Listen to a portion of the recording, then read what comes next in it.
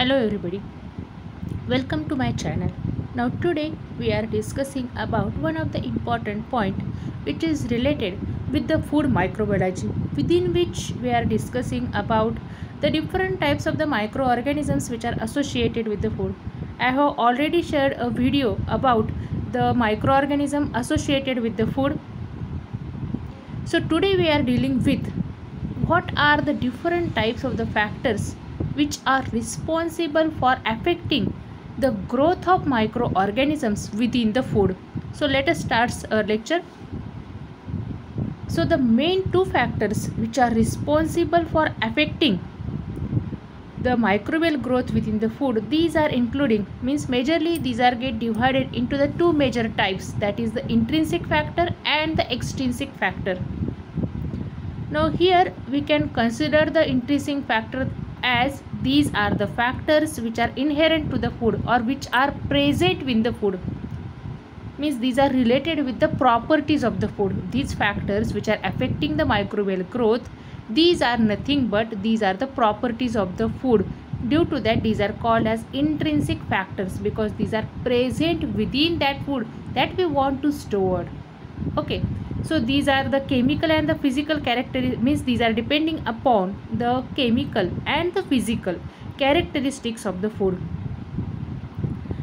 Now the second type of the factors which are also responsible for affecting the microbial growth within the food it includes the different storage condition of the food.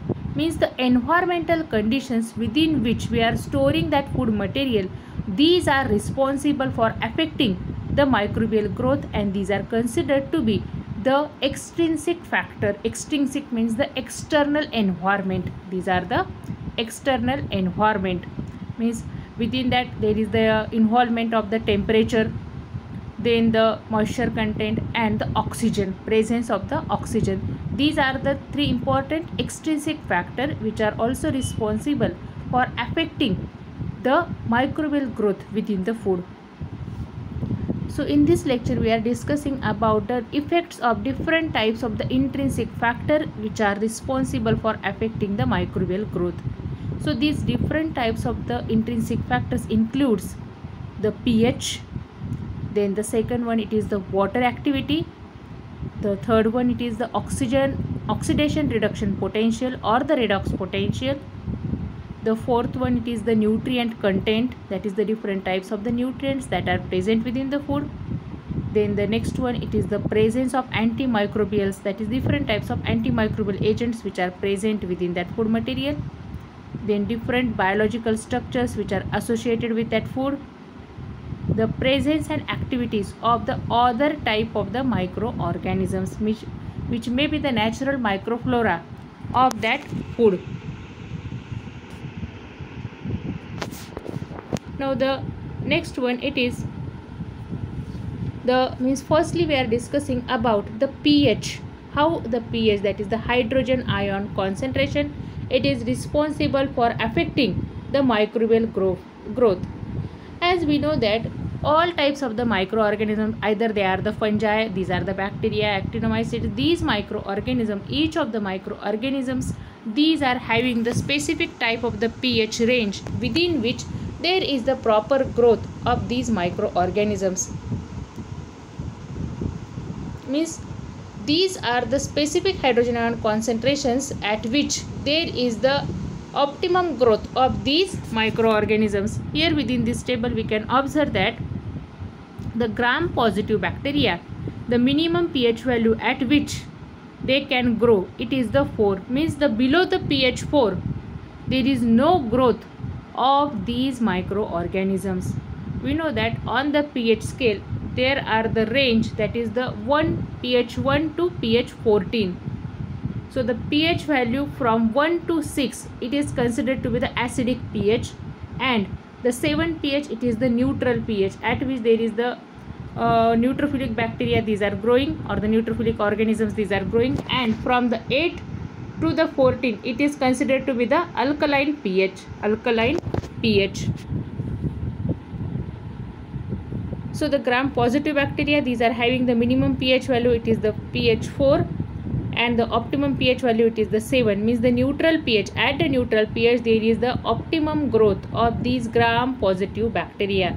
And the maximum pH value it is the 8.5 it means above the pH 8.5 there is no growth of these gram positive bacteria means if within the food sample the pH of the food sample if it is 9 then there is no growth of this gram positive bacteria or if the pH value of the food it is below the 4 there is no growth of this gram positive bacteria. In case of the gram negative bacteria, the minimum pH value it is the 4.5 means again these gram negative bacteria as compared to the gram positive these are not tolerating the acidic pH. So only up to the pH 4.5 there is the growth of these gram negative bacteria. Below that there is no growth of this gram negative bacteria.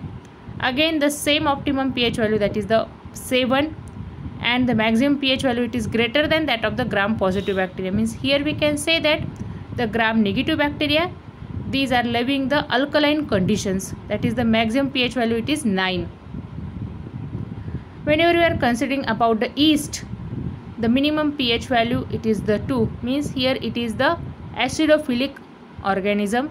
It loves the acidic condition. The optimum pH value again this optimum pH value it is also acidic. That is 4 to 6 4 to 6 within which there is the proper growth of this yeast.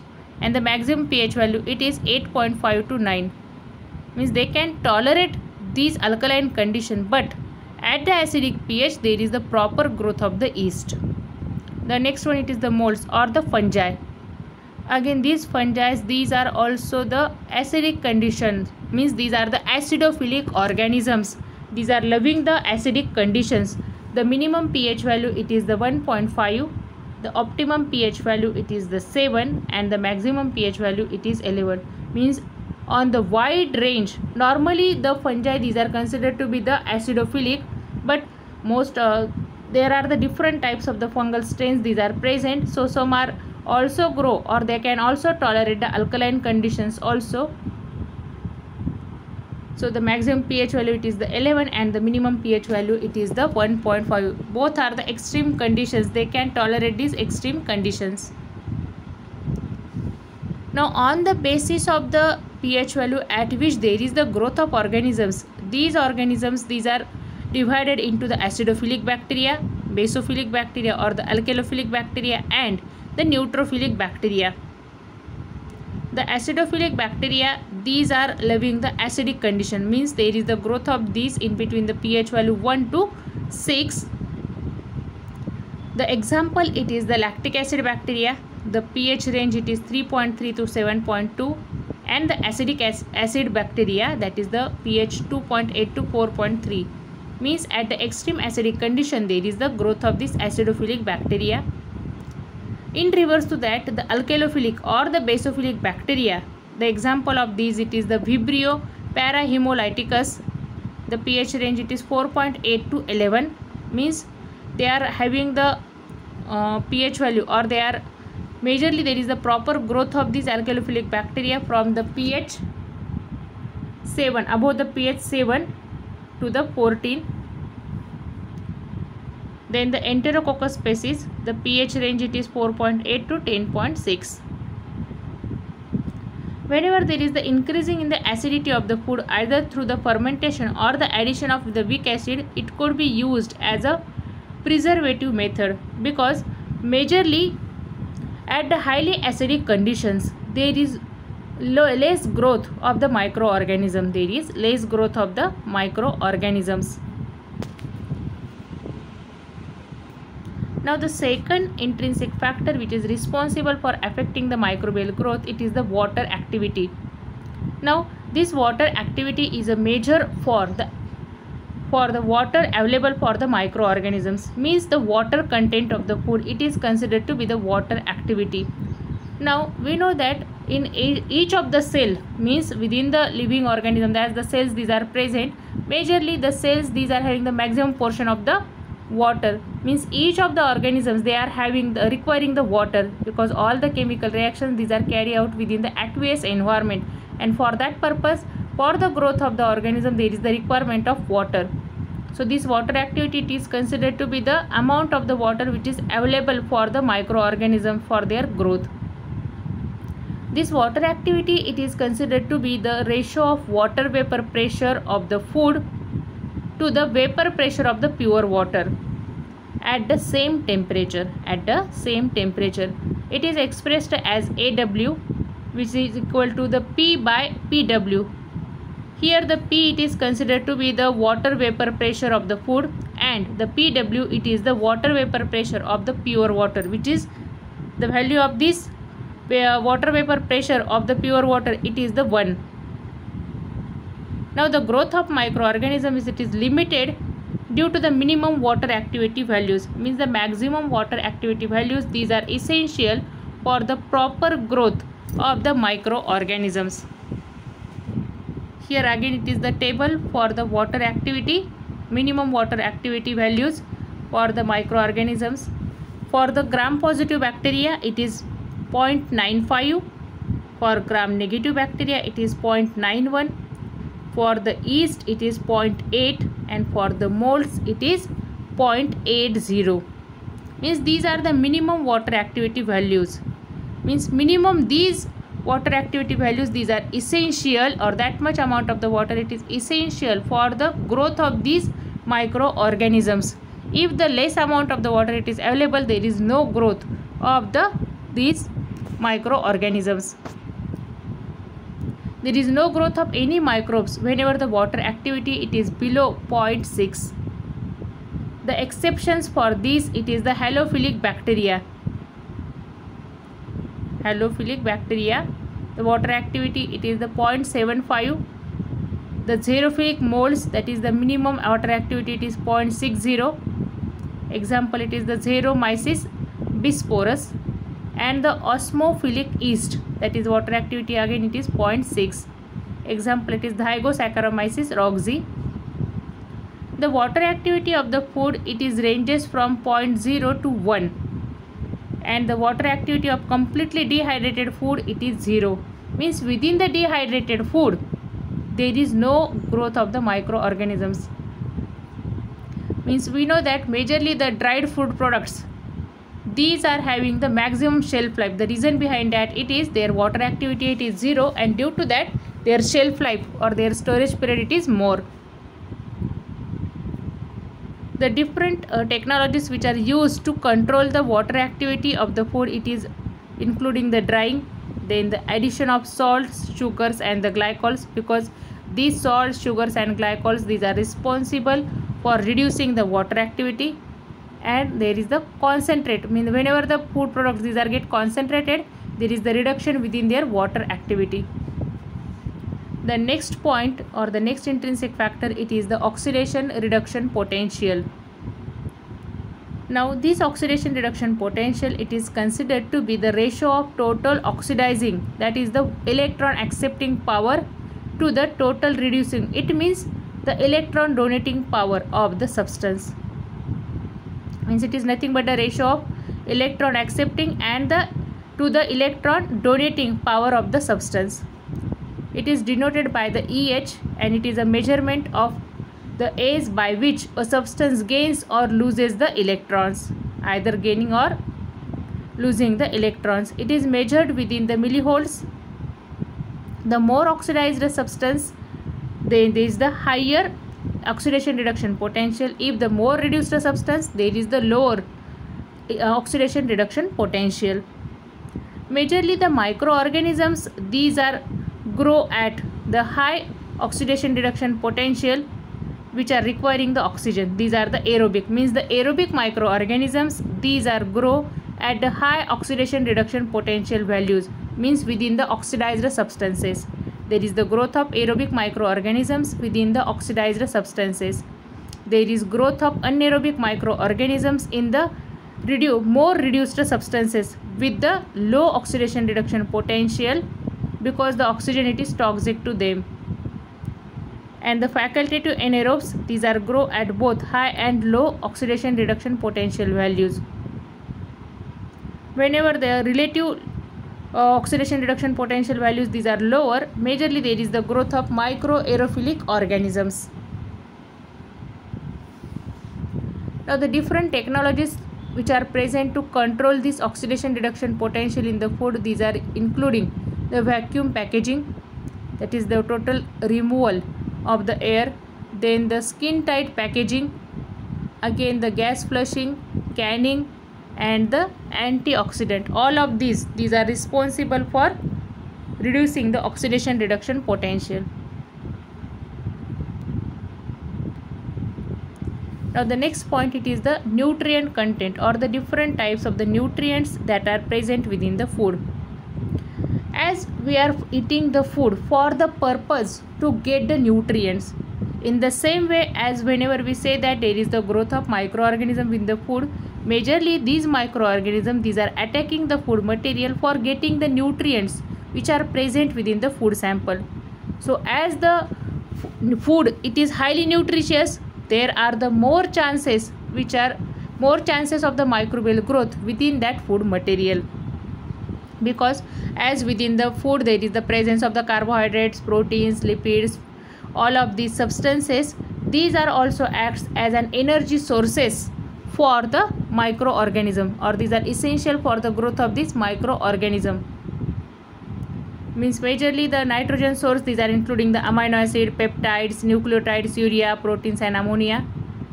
These are all acts as an amino uh, nitrogen sources for the growth of microorganism. Then the uh, carbohydrates these are acts as the carbon sources. Then the minerals such as the phosphorus iron manganese magnesium calcium and potassium these are also acts as a macronutrient for the growth of microorganisms. And the vitamins and other growth factors these are also essential for the growth of microorganisms so due to the means on the basis of these different nutrients majorly there is the dependence of the microorganisms which are present within that food material. The next one it is the presence of antimicrobial agent. Now as we know that on the packaged food material uh, there is the storage or the shelf life it is given. Because majorly means these are giving the time up to which there is the good quality of that food it is remaining. So for maintaining this quality in most of the food product there may be the addition of antimicrobial agent. That means these are the agents which are responsible for inhibiting the growth of microorganisms. So due to the presence of such type of the antimicrobial agent, there is the reduced growth of the microorganisms. So means those of the food which are containing such type of the antimicrobial agent, majorly within that there is the less number of microorganisms these are present. Means these are considered to be the natural constituents of the food which affect the microbial growth the lysozyme it is uh, present within the eggs the lactoferrin example it is the milk then the lactoperoxidase within the cow's milk then the conglutinin within the cow's milk the essential oils that is present within the spices and vegetables. These are the natural antimicrobial agents which are present within the food sample which are present within the food sample. And these antimicrobial agents these are protecting this food material from the microbial attack then within some of the packaged food material there are also use of the preservatives. These preservatives these are nothing but these antimicrobial agent like the benzoic acid sorbic acid. These are also used within the food material. Means this presence of the antimicrobial agent within the food sample these are responsible for reducing the growth of microorganisms within the food. Then the biological structures. Now these biological structures means on the uh, different foods. There are the natural coverings these are present. Means the cell walls which are present on the fruits the different types of the shells on the fruits these are considered to be the natural coverings or the natural biological coverings which are protecting the internal food from the microbial attack from the microbial attack. The example it is the cell walls which are present within the fru fruits and the vegetables the shells of the eggs because the internal material albumin it is present inside the egg shells. So this outer covering of the eggs these are responsible for protecting albumin from the uh, attack of the microorganisms. Then the skin the skin it is the fish the uh, rough skin which is present on the fish or its uh, part it is responsible for protecting it from the microbial attack. So these different types of the biological structures these are also responsible for reducing the attack of microorganisms on the food sample. So here it is the information about the different types of the intrinsic factor which are responsible for affecting the growth of microorganisms within the food. So if you like this uh, video please subscribe my channel and also share this video with your friends. Thank you